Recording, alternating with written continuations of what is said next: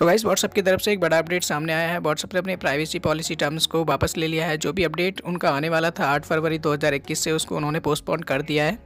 दोस्तों, कितने समय के लिए पोस्टपोन किया गया है, इसका अभी तक कोई भी कंफर्मेशन नहीं आया है। लेकिन अभी प्राइवेसी टर्म्स को लेकर कोई भी आपको पेज आपके व्हाट्सएप में शो नहीं होगा। आपको कोई भी एग्री या डिसएग्री करने का ऑप्शन वहाँ पर नहीं शो होगा, क्योंकि इसको पोस्टपोन किया जा चुका है। दोस्तों व्हाट्सअप ने ऐसा इसलिए किया है क्योंकि व्हाट्सअप को काफ़ी लोग अनइंस्टॉल कर रहे थे, लगातार व्हाट्सअप को स्विच कर रहे थे, किसी दूसरी एप्लीकेशन पे जा रहे थे।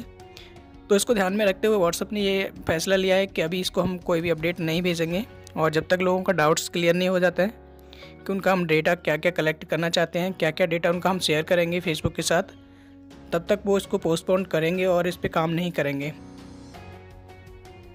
दोस्तों प्राइवेसी पॉलिसी को लेकर काफ़ी सारे लोगों के मन में सवाल थे और उनके मन में लगातार ये डाउट्स थे कि उनका जो डाटा है, जो प्राइवेसी है, उनकी वो सिक्योर नहीं है और व्हाट्सएप इसको शेयर करेगा फेसबुक के साथ साथ ही इंस्टाग्राम के साथ भी।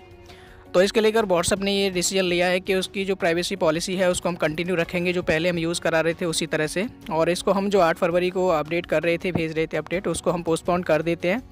और कुछ समय के लिए इसको पोस्टपोन किया गया है। काफ़ी सारे अपडेट्स इसके बारे में आने वाले हैं अभी। उसके बारे में हम आपको कंटिन्यू बात करेंगे इसके लिए। और अभी इसका अपडेट यही है कि अभी व्हाट्सएप के जो भी प्राइवेसी पॉलिसी थी, उसको टर्म्स एंड कंडीशन थी, उसको पोस्टपोन किया जा चुका है। आप व्हाट्सएप को लगातार कंटिन्यू यूज़ कर सकते हैं।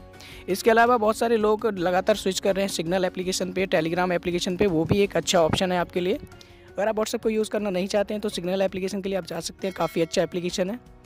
और इसके अलावा टेलीग्राम को भी आप यूज़ कर सकते हैं। काफ़ी सारे लोग वहाँ पे स्विच कर चुके हैं और काफ़ी सारे लोगों ने लगातार उसको डाउनलोड किया है।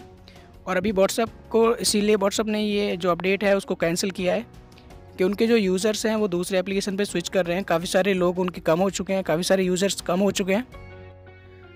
साथ ही व्हाट्सएप की तरफ़ से बोला गया है कि जब तक लोगों के मन में जो डाउट्स हैं, उनको हम क्लियर नहीं कर देते, तब तक हम कोई भी अपडेट नहीं भेजेंगे। पहले हम उनको क्लियर कराएँगे कि उनका क्या क्या डेटा हम कलेक्ट करेंगे और फेसबुक के साथ शेयर करेंगे, क्या उनकी प्राइवेसी रहेंगी, क्या उनके जो पर्सनल चैट है, उनको भी हम शेयर करेंगे या नहीं करेंगे।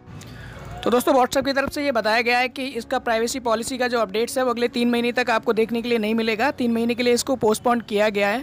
पहले ये आठ फरवरी दो हज़ार इक्कीस को लॉन्च किया जाना था, इसको अपडेट किया जाना था, लेकिन इसको अभी पोस्टपोन कर दिया गया है। अगले तीन महीने तक आपको प्राइवेसी पॉलिसी को लेकर कोई भी अपडेट्स व्हाट्सअप पर देखने के लिए नहीं मिलेगा। तो दोस्तों, यही था इस वीडियो में। आई होप ये वीडियो आपको पसंद आया होगा। अगर आपको ये वीडियो पसंद आया तो लाइक कर दीजिए, दोस्तों के साथ शेयर कीजिए। और चैनल पर नए आए तो चैनल को सब्सक्राइब करना मत भूलेगा क्योंकि यहाँ पर आपको ऐसे इंटरेस्टिंग वीडियोज़ मिलते रहते हैं।